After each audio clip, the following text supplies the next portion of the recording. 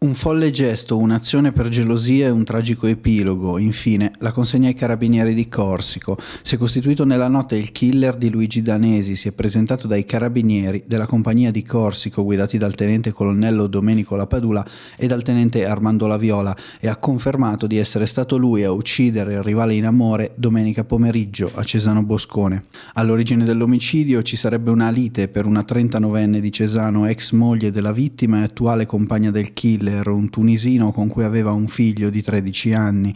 Danesi si era presentato all'incontro con la donna per cercare di convincerla a tornare insieme dopo la rottura avvenuta qualche mese fa. Poi è arrivato il tunisino, prima la lite sentita dai vicini, poi la coltellata mortale. Il tunisino ha così premuto la lama sul collo del 36enne, uccidendolo.